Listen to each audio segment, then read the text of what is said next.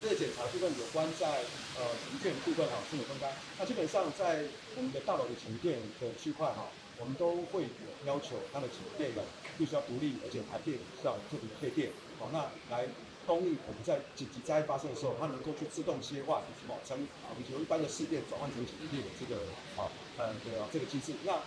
我们跟我们这次的检查也会针对这次的啊转换成紧急电的这个。啊，这个机制的我也是测试，都在可以可以做到。那么，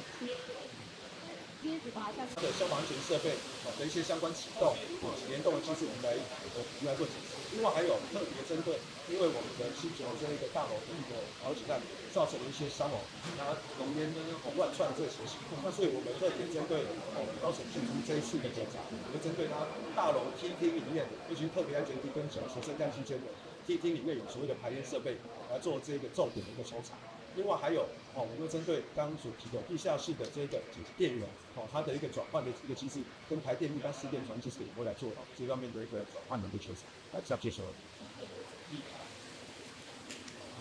谢谢谢谢。